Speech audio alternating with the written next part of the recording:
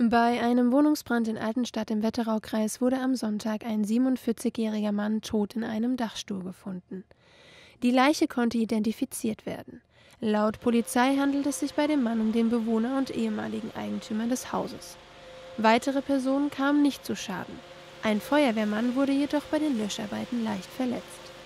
Das Haus im alten Ortskern ist unbewohnbar. Die Brandursache muss noch ermittelt werden. Ein Hinweis auf einen Brand durch einen technischen Defekt oder Brandstiftung durch Dritte gäbe es allerdings nicht. Die Kriminalpolizei ermittelt.